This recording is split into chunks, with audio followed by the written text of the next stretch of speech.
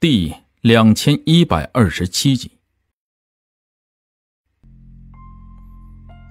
呃，邵总，这些都是关于一些灵长类动物的基因的研究记录啊。每一次的实验结果、数据变化都会有详细的介绍，而且这些东西都在我们的云端服务器上。一名工作人员正在对邵庆莹介绍着这里的一切。M 教授的脸色有些异样。因为向邵青莹介绍这些东西的那位教授，是他的二把手，姓胡。啊，邵青莹这种级别的人物，来这个小实验区着实不容易。本来应该是他上前向邵青莹介绍这一切的，但是他怎么也没有想到，这老东西反倒喧宾夺主了。但是现在邵青莹在这里，他也不好发作。只是向胡教授抛去一个不满的眼神，然后走到邵青莹的跟前。呃，呃，邵总，我是。实验室弄得不错。邵青莹似乎是没有看到 M 教授似的，他一边向里面走，一边说：“胡教授，看来你的能力不错。”啊，呃，都是大家合作的好，我一个人真的做不了这么多事情的。胡教授谦虚的说。谦虚了。邵青莹向里面走着，一行人连忙跟上去。M 教授感觉到有些莫名其妙了，自己这一百五十多斤的体格，在邵青莹的眼里，他难道就是一团空气吗？啊，自己好歹也是拿过各种头衔的博士啊，在国际上也是很出名的。邵青莹这样对他视而不见，他肯定有些生气。但是想想邵青莹的身份，M 教授还是把自己的一肚子火气给咽了下去。不为别的，就因为他眼前的这个人是邵青莹，他可以无视这个世界上所有的人，哪怕是现在邵青莹无视他，他也有这个资格，因为他是邵青莹。一边走，一边听着胡教授介绍着这个实验室里面的东西。M 教授像是小学生似的跟在后面，啊，这里面大部分的成果都是他的，但是听胡教授煞有其事的介绍给邵青莹，他就觉得心里有些堵得慌，那感觉就好像是自己最心爱的东西被别人给剥夺了一般。但是 M 教授对此事没有一点办法，啊，他只是不明白邵青莹今天来这里的目的是什么。而他又到底做错了什么事情？终于，实验室里面的大部分的东西都被邵青莹给了解的七七八八了。他这才回过头道：“不错，胡教授，实验室以后由你主管吧。”现场在这瞬间变得静悄悄的，所有人都不敢置信的看着邵青莹，然后又回过头看看 M 教授。一时间，大家都沉默了。谁都知道啊，这个实验区现在是由 M 教授负责的。胡教授虽然也不错，但他始终是一个二把手罢了。现在邵庆莹当着 M 教授的面这么说，这是完全没有把 M 教授给放到眼里呀。而且从邵青莹的话里的语气里，众人感觉到了一种不祥的预感。他们觉得邵青莹，哎，这次来。这是为了收回 M 教授在这里的权利，仅此而已。但是他为什么会这么做呢？现在这个实验区域，在 M 教授的掌管下发展的还是不错的，啊，已经有好几个新方向研究了出来，而且还是发展的最重要的阶段了。邵青宁这个时候夺走 M 教授的控制权，他是疯了吗？不过。高层的意思不是这些小员工们能猜出来的，他们只要跟着领导走就行了。而且聪明的人已经看出来事情有些不对头了。邵青莹亲自出手，这件事情到底有多严重？他们虽然不明白发生了什么事情了，但是这件事情既然能让邵青莹亲自出手，那足以证明问题有多严重。所以，大部分人都选择了沉默。M 教授现在是一脸的懵，他不敢相信的看着邵青莹，他几乎要认为自己是听错了。邵青莹这是在卸磨杀驴，他要把自己的实验室给夺了。他这是什么意思？呃，邵邵总，你你说什么？本来正在口若悬河的喷吐着唾沫星子的胡教授也懵了。他一度以为自己是不是因为最近太累了，所以产生了幻觉。我说，这个实验室以后由你打理。另外，最近智脑提出一个新项目。也是关于基因方面的，都一并交给你打理吧。我相信以你的能力，一定能做好这些事情的。邵青莹微微的一笑：“呃，是是，保证不会让邵总失望。”胡教授这一次算是听清楚了，他喜出望外，几乎要从地下跳起来了。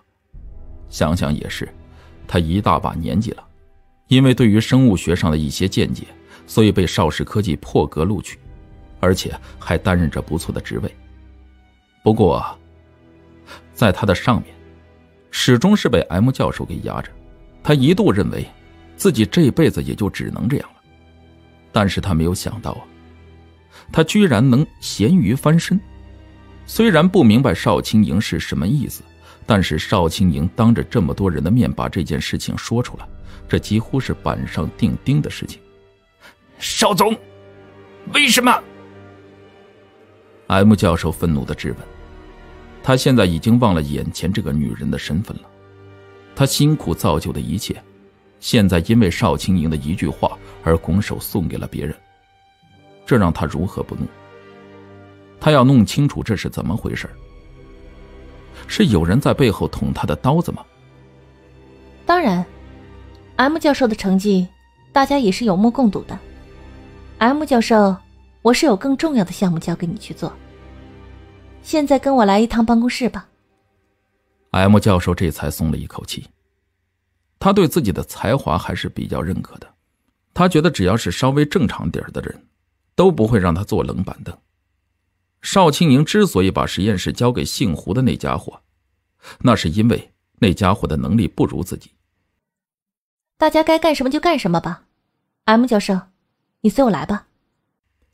邵青莹说着，转身走到了办公室里面。M 教授跟随着邵青莹来到了办公室里面。他有些疑惑的看着邵青莹，虽然说邵青莹现在是有更重要的项目交给他，但他还不知道这更重要的项目是指的什么项目。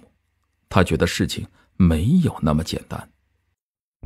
M 教授，你来邵氏科技已经有些日子了吧？啊，我是邵氏科技成立便在的，算起来是老人了。呃，虽然邵氏科技成立的时间不长，但是这里的发展却是大家有目共睹的。你对邵氏的贡献，我是看在眼里的。首先，感谢你对邵氏科技的付出，我在这里代表邵氏集团高层向你致谢。啊，受不起，受不起！呃，邵总，如果不是你给我施展拳脚的机会，呃，我到现在还不过只是一个大学教授罢了，我哪里会有那么多的成果？M 教授受宠若惊，他不知道邵青莹这玩的是哪一出。尊重每一位员工是我们邵氏集团的座右铭。M 教授，你对邵氏集团的贡献，我们会记着。但是，一码归一码，有些事情。我想找你了解一下，邵总，有什么事情您就说吧，我知无不言。基因研究成立的时候，我们约定过的，这一些基因研究仅限于一些灵长类的动物，但不准对人体做任何实验。这些条例你还记着吧？呃，当然记着。M 教授怦然心跳，但是他表面表现出来的很淡定。出于人道主义，我们有过这样的约定，我还记得呢。可是 M 教授，我可听说你私下里和人达成交易，为一些人研究基因武器。邵青莹慢条斯理的说：“邵总，这是污蔑，这绝对是污蔑。”M 教授猛地抬起头，他叫道：“我我是有原则的人，部门创立时所设下的规定。”他我都是严格执行的，我的一心都扑在工作上面，我绝对没有其他的想法。我说的都是真的，邵总，请一定要明察，哎，这这这揪出背后捣乱的人。M 教授，你觉得如果我无凭无据，会贸然来找你吗？邵青莹叹了一口气。你也是公司的元老，而且手里掌握着重要部门，如果没有非动你不可的理由，你觉得我会来这儿吗？M 教授呆住了。是的，邵青莹的手段他是知道的，向来雷厉风行。如果不是有真凭实据，他会亲自来这里找他吗？他既然来了，那就有非来不可的理由。而且这件事情，让他亲自出动，这足以证明事情的严重性。M 教授，我不想为难任何人，但是你应该要清楚，什么事情该做，什么事情不该做。你可以私下做一些我不认可的事情。但你千万不要触碰我的底线。呃，少佐，我你说的话我我不太明白，我也不太懂，你你说的这个是什么意思？如果你想架空我，呃，不过是一句话的事情罢了，不需要找这么多的借口。哦，你的意思是你对自己的人格是相当有信心了？我当然有信心，你可以辞退我。但是不能侮辱我的人格，好歹我也是为人师表多年，你不可以侮辱我的。”M 教授愤怒地说。“那好，M 教授，我不和你争辩，我只会用事实说话。”邵庆莹转过身，他瞥了一眼 M 教授，然后甩出了一叠资料。“这些东西是我的证据，你自己看看吧。” M 教授的眼皮一跳，他隐约的感觉到不对劲儿。虽然他表面上是一副正义凛然的样子，但事实上他做过什么，他自己心里面十分清楚。而且，邵青莹的所有数据都会上传到私人服务器上。这张资料纸对邵氏来说就是原始的东西。他把资料打印出来甩过来，这足以证明他有多小心。拿起资料，刚看了几页，M 教授的脸色瞬间变白了。利用职务之便，背地里研发一些非法项目，包括人体基因、生命基因这些东西。如果我把这东西交给警方，你觉得你下半辈子还能从监狱里面出来吗？啪，手中的资料掉在地上，M 教授脑门上的冷汗瞬间流淌下来。他之前所做的事情，一件不差的出现在这资料上。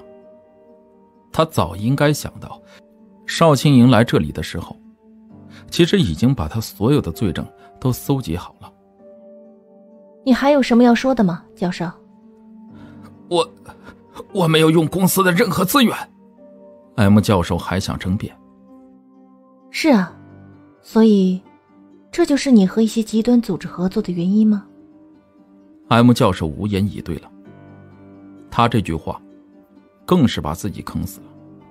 有些东西，不仅仅是公司明令禁止的，也是违法的。我我这，我这也是为了人类的未来。我通过修改人的基因，使人的寿命更长。我这样做有错吗？你所谓的研究，医圣先生早在几年前就已经做到了。他现在可以通过药物使人的寿命达到一百五十岁，甚至是更久，而且成本更低，更健康。可是他没有进行全国推广，你知道为什么吗？这不可能，这怎么可能？他他只是一个中医罢了，他不可能做到的。你信也好，不信也罢，反正事实就是事实，这是无可争辩的。他之所以不推广这些东西。是因为我们现在的资源还不足以承担得起。试想一下吧，如果人真的长生不老，单凭一个地球，资源够吗？你想过这样的后果吗？你说的没错，但是出于科研，出于贡献，我并没有做错什么。我还是可以骄傲的说，我是为了全人类，我所做的没错。冥顽不灵。有些事情点明了没有意思。M 教授，我知道，在公司里面现在有一股势力已经形成。邵氏科技这么大，我难免会有些地方顾及不过来。但你是公司的元老，邵氏科技成立的时候你就已经在公司了，你却和他们站在一起，这让我很困惑，也很意外。你想要的到底是什么？少佐，看来你已经掌握所有的事情了。